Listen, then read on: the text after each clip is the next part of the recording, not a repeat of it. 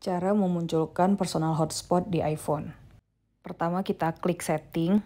Kalau misalnya kita pertama kali ngereset iPhone atau pertama kali baru pakai iPhone ya, itu nggak akan ada muncul personal hotspotnya secara otomatis.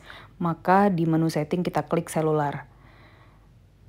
Nah di selular juga nggak akan ada personal hotspotnya muncul. Jadi kita klik cellular data network. Kemudian di bagian bawahnya akan ada personal hotspot.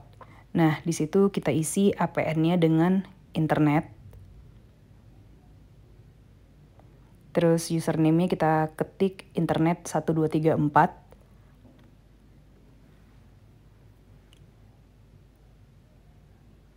Passwordnya juga kita buat internet 1234. Habis itu kita enter.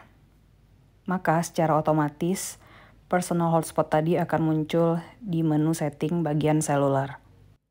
Habis itu tinggal kita klik personal hotspotnya. Terus kita klik allow others to join supaya aktif. Nah, kalau misalnya kita mau ganti password, tinggal klik password tadi. Tadi aku buat Bismillah, sekarang aku mau ganti jadi Ruby Jane misalnya. Ketik, terus dan selesai deh. Personal hotspotnya udah muncul. Dan sekarang di menu setting depan juga udah muncul personal hotspot di bawah seluler. Selama proses tadi, pastiin yang kalian pakai adalah cellular data network. Kalau misalnya kalian pakai WiFi, itu nggak akan muncul. Selamat mencoba and thank you for watching.